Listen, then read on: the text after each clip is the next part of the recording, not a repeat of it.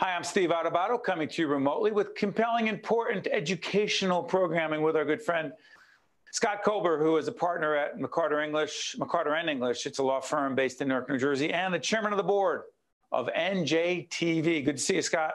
Honored to be with you, Steve. Good to see you. Scott, um, we're going to talk about the role of public media, public broadcasting in this pandemic. Uh, we'll be seen in 2021. We're taping at the end of 2020, and also part of this other series I told you about over the weekend. when We were talking democracy at a crossroads. What do you believe the larger role of public media is in a representative democracy? Well, it might sound a little cliched, but I think that uh, the role of public media is to elevate everyone's quality of life. And I think uh, public media does it generally, but I think in New Jersey, we can talk a bit about the specifics.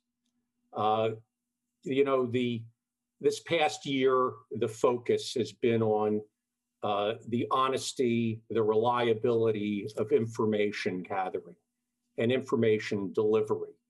And where every day there is, uh, there are important decisions to make about for whom to vote, uh, whether to get a vaccine, whether a business is to be open, whether my business is open, to know that information. And with the regrettable waning of conventional print journalism uh, in New Jersey with uh, no uh, commercial uh, TV stations uh, over decades now, because it, it, will be 50 years next year.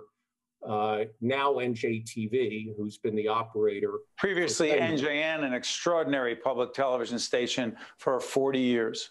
Thank you, Steve. And the so the news is delivered now on diverse digital platforms uh, over uh, cable, over the air, uh, through our spotlight function, uh, and uh, and people can get honest, unvarnished, reliable information, and and obviously that's critical to uh, the good functioning of a democracy. Yeah, to, to, Scott's point, by the way, uh, we're not going to turn this into a commercial for public broadcasting, but check out NJ Spotlight News with Briana Vannozzi every night, and also Metro Focus, which is on uh, NJTV, WNET, WLIW. Um, and, and, and, by the way, this conversation, Scott, that we're having about the role of public media, we've had with our president, Neil Shapiro, um, with uh, John Servidio, uh, general manager over at uh, NJTV, Bob Feinberg, others, our chief counsel. Here's the thing that I keep thinking. When I hear people talk about fake news, enemy of the people, I, I, try not to be personally offended because it's not personal, I guess. But you know better than anyone with your history with NJN coming over to this new entity, uh, NJTV, in a leading role. We have no horse in the race. We have no point of view. We don't have an audience that says, I agree with public broadcasting because what are you agreeing with? We have every particular, every voice. I'm, I'm sorry, I'm, I am on my soapbox. But for folks who actually think we have a point of view, make it clear to them what our point of view is. Well, Steve, it, it's undeniable that any of us who uses an adverb or an adjective tints what we say with, with some level of opinion.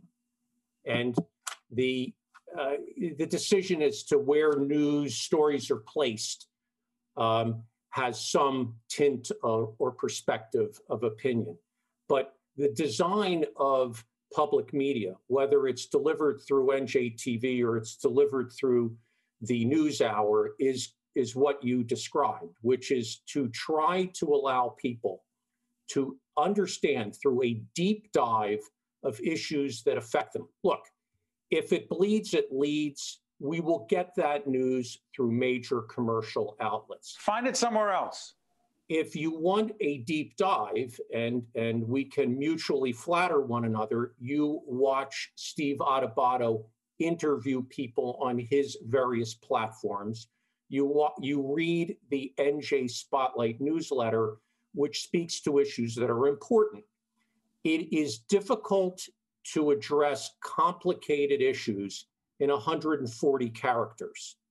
It, and you know, and I know that over decades, some of the same gnawing problems continue to affect all of our fellow citizens, whether it's property taxes, infrastructure, the Gateway funding. Tunnel, Exactly, our economy, COVID. I mean, you name it. Climate Cannabis, change. Cannabis. Um, you know, the, the, if you look for the outlet to determine uh, what the governor is announcing with respect to uh, businesses or treatments or now the, uh, the delivery of vaccines, the likely reliable source will be on an immediate basis NJTV in New Jersey and NJ Spotlight combined now as one entity but to be able to get the push page. Now, one important other component we don't have a paywall so that uh, people who want to be better educated and want to discharge their responsibilities as citizens, as citizens uh, can access us free of charge. Now, there's a civic responsibility. Of course, we're going to shill for support from viewers like you, uh, but uh, it is delivered to uh, the public. Uh, NJN received a substantial state appropriation. Uh, NJTV doesn't benefit from an annual appropriation, though we're hoping that that may change. Right. Um, but we are, uh, uh, sadly, because we would like to be an accretive part of news delivery, we're sadly becoming uh, perhaps the most robust news delivery organization for matters relating to the state. And, it- and, Normally and, it's held by newspapers. And by the way, Neil and I talk about this all the time. Neil Shapiro, we spend so much, and we're not complaining. We have to spend a lot of our time. I would love to just interview people, go deep dive, public policy. No money, no mission. So we are fundraisers because we must. That being said, in the limited time we have left, the Learning Live initiative uh, that NJTV was engaged in, um, uh, remote learning together with the Department of Education, the state, the New Jersey Education Association. Give me 30 seconds on why that mattered so much, particularly at the beginning of the pandemic, Scott.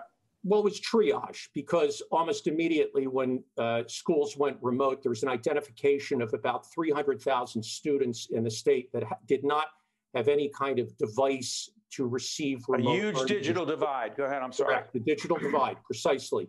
So to speak to that, uh, very quickly with the uh, NJEA and the NJDOE and NJTV acting in remarkable cooperation and not surprising cooperation, uh, we were able to uh, put on the air four hours of, of, of uh, teaching to younger students who would be the ones who were perhaps greatest at risk. And we received a great critical review. In fact, emulation is the greatest form of flattery. Uh, New York City contacted WNP, as you know, uh, to uh, reprise what we were doing in New Jersey, and of course was covered by a major media national. So listen, the bottom line with Scott Kobler is that um, all of us involved in public broadcasting, um, it's so corny to say we believe in what we're doing. I can't.